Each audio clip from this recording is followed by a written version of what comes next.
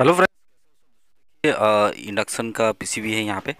तो यहाँ पे जो समस्या आ रहा है, ये देखिए यहाँ पे जो हमारे फ्यूज़ लगा हुआ है, ये फ्यूज़ जो है बिल्कुल उड़ा हुआ था यहाँ पे। पूरी तरह से जो है, ये देखिए यहाँ पे जो हमारे पीएफ लगा हुआ है, यहाँ पे भी जो है पूरा, जो है काला पड़ चुका है। तो एक ऐसे प्रॉब्लम यहाँ पे हो रहा है। देखिए हमारे इंडक्शन में जैसे कि मैंने हम, हमेशा जो है बार बार बताते हैं, कभी भी लगाती हैं तो पहली बार जो है आप सीरीज़ में लगाइए। तो सीरीज़ में लगाने के बाद देखिए फ्यूज़ को हमने कनेक्शन कर दिया है। करने के बाद सीरीज़ में लगाते ही जो है हमारे बल्ब जो है ग्लो कर रहे हैं। तो यहाँ पे देखिए, कोई भी सोचेगा हमारे जो है आई जी बी टी यहाँ पर ख़राब है। लेकिन यहाँ पे आई जी बी टी ख़राब नहीं है, हम देखिए इसको प्लग इन करेंगे। तो ये देखिए, हम इसको जो है सीरीज़ में जो है लगाएँगे। लगा दिया है। लगाने के बाद देख सकते हो, हमारे सीरीज़ का बल्ब जो है कैसे यहाँ पे ग्लो कर रहा है। तो यहाँ पे कोई भी सोचेगा हमारे जो आईजीबीटी है ख़राब है तो आईजीबीटी को हम चेंज कर देंगे।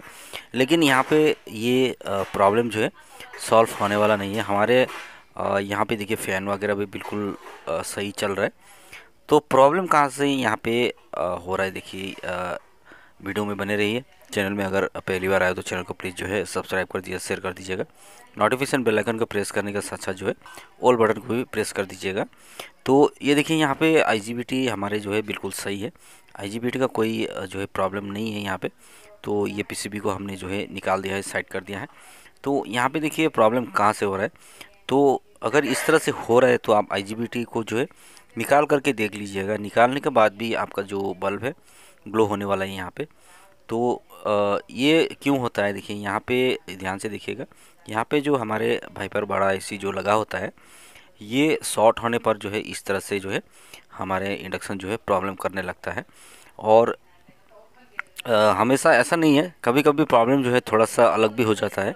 कभी कभी जो है आपका फ़ैन वगैरह जो आपका जो इंडक्शन जैसे कि सप्लाई देते ही बिप वगैरह देता है ये भी देगा कभी कभी और कभी कभी जो है ये बिल्कुल बिप भी नहीं देगा, आपका फ़ैन भी नहीं चलेगा। और आप जो है, अपनी जो आईजीबीटी है, इसको चेंज करते रहेंगे, लेकिन आपका सोल्यूशन जो है, होने वाला नहीं और डायरेक्ट एसी सप्लाई में अगर आप लगाएँगे, दोबारा से आपका फ्यूज़ जो है यहाँ पे उड़ने वाला है। तो देखिए, यहाँ पे हम जो, यहाँ पे हमारे जो वाइपर बड़ा इसे लगा हुआ है, इसको हम निकालेंगे। निकाल करके जो है, इसको दोबारा से जो है, हम प्लग इन करेंगे। प्लग इन करके देखेंगे देखिए। तो थोड़ा सा वीडियो में बने रहिए हम इसको फटाफट निकाल लेते हैं। तो कभी भी देखिए दोस्तों मैं बार बार हमारे कोई भी हम अ, मैं कभी भी अगर इंडक्शन का कोई भी वीडियो अगर अपलोड करता हूँ तो मैं हमेशा कहता हूँ इंडक्शन को जो है कभी भी रिपेयर के लिए आता है तो अ, आप कभी भी जो है पहले आपका जो सीरीज़ है वहाँ पे लगा करके देखिएगा। और कभी भी रिपेयर करने के बाद भी जो है या तो आईजीबीटी वगैरह जो भी आप चेंज करते हो वहाँ पर चेंज करने के बाद भी जो है, पहला चीज़ जो है आपको कंफर्म करने के लिए एक बार जो है आपका जो सीरीज़ का जो कनेक्शन होता है तो वहाँ पर लगा करके देखिएगा ज़रूर। उसके बाद ही कंफर्म होने के बाद जो है डायरेक्ट एसी सप्लाई में इसको जो है लगाइएगा।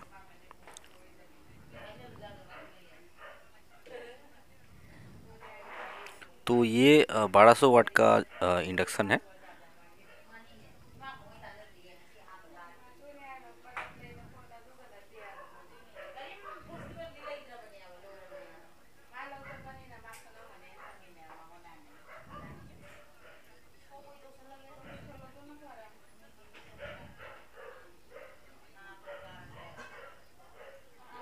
तो एक और समस्या एक और चीज़ के कारण जो है इस तरह से हमारे बल्ब जो है ग्लो करता है और शॉर्टिंग दिखाता है।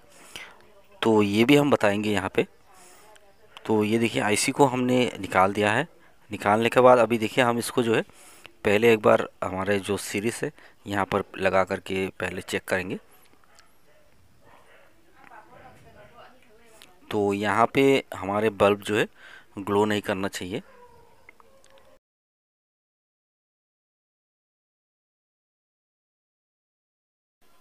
तो देखिए, हमने इसको सीरीज़ में कनेक्शन दे दिया है स्विच भी दिया हुआ है और देख सकते हो हमारे बल्ब जो है यहाँ पे बिल्कुल ऑफ़ है और यहाँ पे हमारे वाइपर बारह ऐसी जो है हमने अभी तक लगाए नहीं है।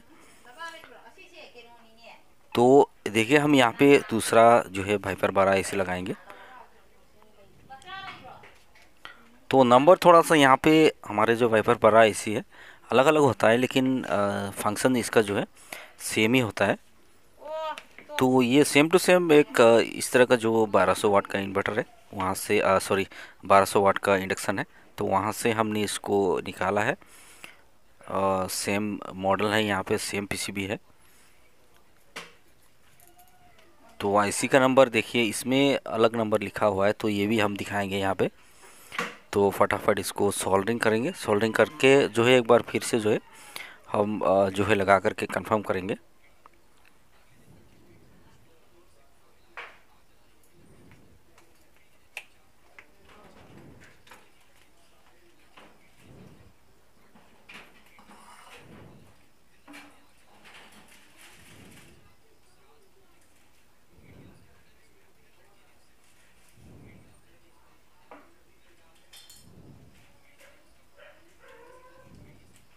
तो लगाते समय आईसी जो है, उसका जो कट बना हुआ है कट जो है ज़रूर इसका जो डायरेक्शन होता है तो डायरेक्शन देख करके आपको लगाना चाहिए। डायरेक्शन बना होता है वहाँ पे। तो अगर पहली बार आप लगा रहे हो आईसी को निकाल रहे हो तो जो है आईसी के ऊपर जो है, एक छोटा सा कट बना होता है। और हमारे पीसीबी के ऊपर जो है, लिखा होता है, किस डायरेक्शन में आप कट को रखना है। तो ये देखिए आईसी को हमने लगा दिया है। अभी देख सकते हो हमने जो है इसको लगाया है, लेकिन हमारे बल्ब जो है बिल्कुल ग्लो नहीं हुआ है। तो ये हम इंडक्शन में जो है बैठाएँगे, बैठा करके जो है हमारे जो फ़ैन है, फ़ैन वगैरह कनेक्ट करके देखेंगे। अगर सीरीज़ का बल्ब अगर बिल्कुल नहीं जल रहा है तो ये चीज़ क्लियर है कि हमारे पीसीबी जो है खरा सॉरी बिल्कुल सही हो चुका है। देख सकते हो फ़ैन भी अभी चलने लगा है। और हमारे सीरीज़ का बल्ब जो है बिल्कुल ऑन नहीं हो रहा है। यानी कि हमारे प्रॉब्लम जो है बिल्कुल सही जो है यहाँ पे हो चुका है। तो एक और कारण एक और चीज़ के कारण जो है यहाँ पे इस तरह से प्रॉब्लम होता है। तो देखिए वाइबर बड़ा एसी का नंबर जो है यहाँ पे थोड़ा सा अलग है। तो यहाँ पे देखिए दोस्तों कभी कभी जो है हमारे, ये जो हमारे रेक्टिफायर ड्राइवर यहाँ पे लगा होता है, चार लेग का जो हमारे ब्रिज रेक्टिफायर सॉरी आईजीबीटी के पास लगा होता है तो ये ख़राब होने की वजह से भी जो है कभी कभी इस तरह से जो है इंडक्शन में जो है प्रॉब्लम देखने को मिलता है, लेकिन बहुत ही कम आपको दिखाई देगा। तो आप जो है IGBT को चेंज करते रहेंगे फ्यूज़ को जो है लगाते रहेंगे, लेकिन आपका जो इंडक्शन है, ये जो है सही होने वाला नहीं है। आप सीरीज़ पे लगाते जाइए सीरीज़ का बल्ब जो है ग्लो होते जाएगा। तो क्या करना है आपको? IGBT को पहले निकाल लेना है। निकालने के बाद एक बार लगा करके देखना है सीरीज़ में। उसके बाद फिर से ग्लो हो रहा है तो आपको जो है वाइपर बार आई को निकालना है। उसके बाद भी अगर ग्लो हो रहा है तो आप जो है रेक्टिव तो लास्टली जो है आपको ये जो हमारे रेक्टिफाइड डायोड लगा होता है, इसको जो है निकाल करके देख लेना है। तो ये तीन चीज़ों के कारण ही इस तरह से शॉर्टिंग बता